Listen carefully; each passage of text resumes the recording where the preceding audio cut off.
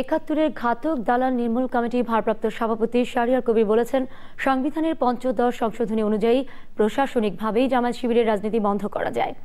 ময়মনসিংহে মতবিনিময় সভায় তিনি বলেছেন, সরকার যত কালক্ষেপণ করবে, ততই সহিংসতা দেখাবে জামায়াত শিবির। স্টাফ রিপোর্টার শেখ মহিউদ্দিন আমাদের পাঠানো তথ্য তোলা ছবি নিয়ে desk report.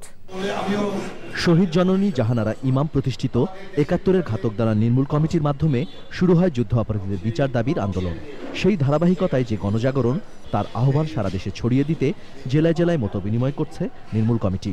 Mymensingh press club মিলনায়তনে এরকম এক মত বিনিময়ে নির্মূল কমিটির নেতারা সংবিধানের আটত্রিশ ধারা অনুযায়ী জামাত শিবির নিষিদ্ধ করার আহ্বান জানান।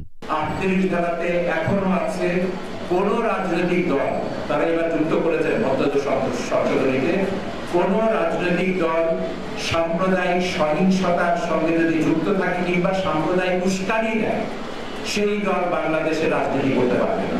গণজাগরণ মঞ্চের বিরুদ্ধে অপপ্রচার চলছে জানিয়ে শাহরিয়ার কবির বলেন কে নাস্তিক আর কে আস্তিক তা একমাত্র সৃষ্টিকর্তাই জানেন।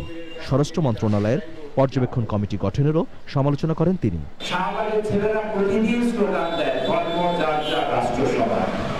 তাদেরকে গ্রেফতার করা কাফের বলা কি শুনলাম? একটা কমিটি করছে পর্যবেক্ষণ করবার জন্য। কারা কারা নাস্তিক সেটা খুঁজে বার করতে হবে।